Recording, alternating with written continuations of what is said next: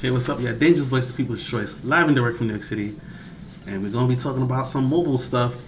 Ubisoft is bringing the Division to phones. How? Let's talk about it. So, as reported by Polygon.com, Ubisoft is bringing the Division to, mo- to phones. Mobile Tom Clancy game is still in early development. So it says here, Ubisoft is bringing the Division to mobile devices as part of its ongoing multimedia expansion of the Tom Clancy franchise. Alain Corre, executive director of Ubisoft, announced a mobile spin on the Division as a part of a large update in the franchise, but offered very way little detail.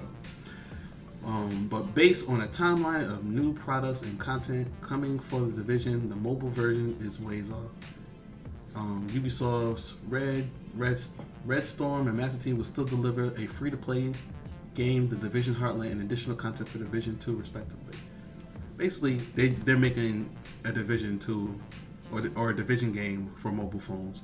More than likely, it's going to be in the same style as the Division games on console, or maybe they already have right now. They have a um, kind of like a, a tactical RPG for the Division right now on mobile, but they're going to be making like a whole like division type game like like a division 2 type game on mobile that's what they're trying to do now so of course it says it goes further in the article to say ubisoft is no strangers to mobile games of course the publisher has released mobile spin-offs based on assassin's creed Rabbids just dance and trials the publisher took the tom clancy brand mobile with tom clancy's elite, elite squad see that's the tactical rpg i was talking about elite squad a crossover title that features heroes from Rainbow Six, Ghost Recon, The Division, Splinter Cell, and the Hawk franchises.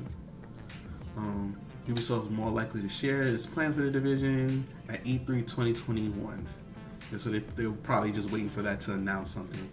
And the their portion of the show is going to be called Ubisoft Forward. So what I've been saying to people all along is like, yo, um, mobile games are the future. People keep saying like, yeah, mobile games are the future. So, so I'm like, people are like, yeah, mobile games. Cause so when I say that, people treat it as if I'm saying mobile games is going to take over and oh it's a wrap for console and pc i'm like no that's not what i'm saying. What i'm saying is mobile games are the future meaning that they're going to be like another platform. So we're going to say okay you know there's ps5 there's xbox there's pc and then there's going to be mobile. So it's just going to be another thing like that. But right now mobile's kind of like eh, in its own space in its own world. We kind of consider it we kind of push it off as like part of the handheld world as far as like the handheld consoles like a like a Nintendo DS or a PSP. We kind of think of it in that term, but like no, it's actually going to be like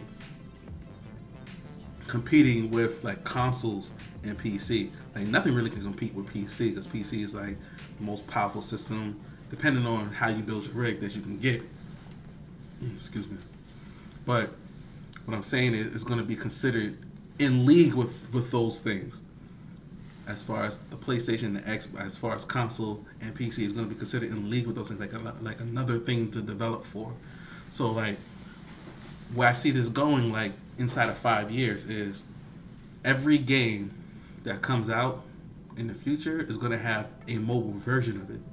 So like, say for instance, a Call of Duty comes out, there's going to be a Call of Duty mobile.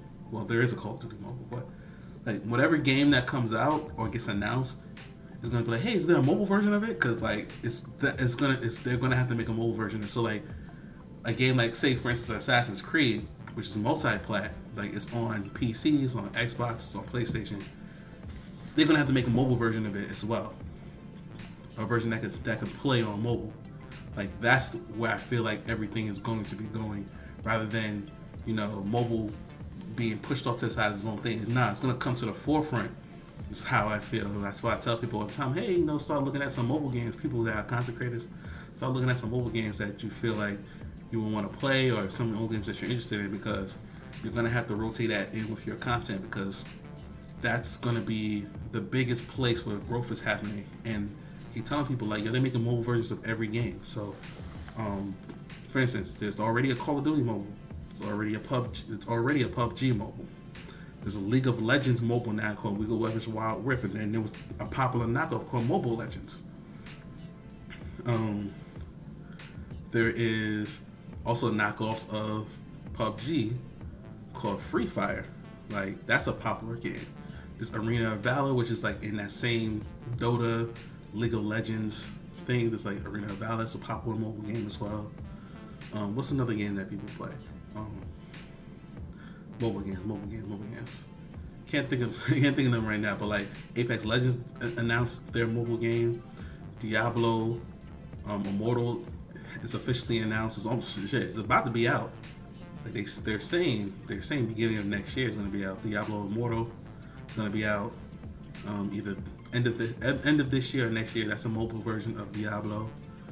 Um, Battlefield just announced, hey, they're making a mobile version of Battlefield, and now the Division is going to get its own mobile version. Like, it's going to be mobile versions of each and every game that comes out. I'm telling people, like, yo, try to find out what mobile game that you like. If you're a content creator, you're going to continue to be a content creator because they're coming. It's coming. And the whole thing is, people's like, I don't even play mobile games, or like, I'm not playing mobile games. I'm, just like, think about it. It's like, how many people have a console? How many people have a PC? Like a powerful PC to play games on? Not, not a lot, really. Not a lot. But damn, everybody got a cell phone. Now, everybody doesn't have play mobile games or games on their phone, but damn near everybody has a cell phone. Some people have multiple cell phones. I have three or four myself personally. So what I'm saying is that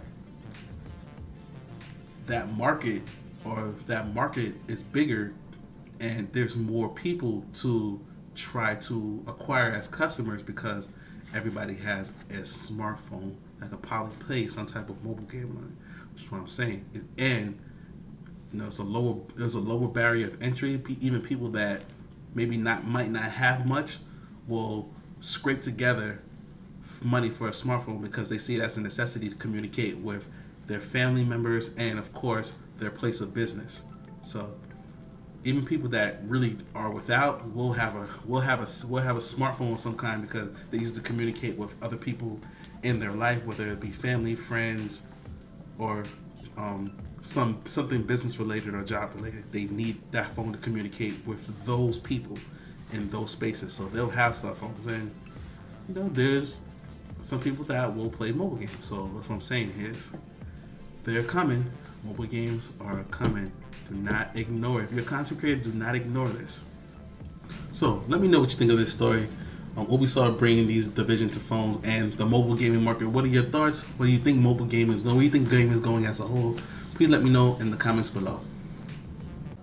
If you've reached this part, this is the end. This is Danger's Voice, the People's Choice, live and direct from New York City.